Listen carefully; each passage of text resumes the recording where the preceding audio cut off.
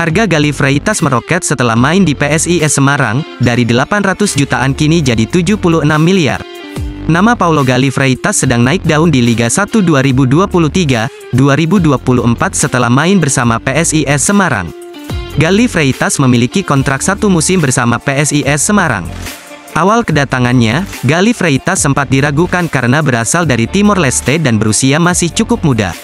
Namun seiring berjalannya waktu, Gali Freitas tampil apik dan membuat semua orang mengakui kemampuannya. CEO PSIS Semarang, Yoyo Sukawi, menyadari betul potensi yang dimiliki Gali Freitas. Oleh sebab itu, Yoyo tak ingin melepaskan Gali Freitas ke klub mana pun di Liga 1. Begitu berharganya Gali Freitas di mata Yoyo Sukawi, sampai-sampai Yoyo Sukawi membanderol Gali Freitas dengan harga yang tak masuk akal. Pertama kali didatangkan ke PSIS Semarang, harga pasaran Gali Freitas menurut Transfermarkt berada di kisaran 805 juta. Kini pemain asal Timor Leste itu dihargai sebesar 76 miliar oleh Yoyo Sukawi. Harga tersebut senilai dengan seluruh pemain PSIS Semarang. Tawaran tak masuk akal itu merupakan bentuk perlindungan kepada Gali Freitas agar tidak diambil oleh klub lain.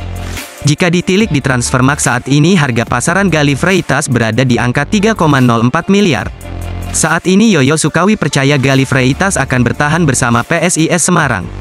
Saya percaya dengan Gali Freitas yang bisa panjang masa baktinya di PSIS, kalau ada klub yang mau, sini bayar 5 juta dolar AS. Saya bisa bangun stadion di Semarang kalau ada klub yang mau, kata Yoyo Sukawi.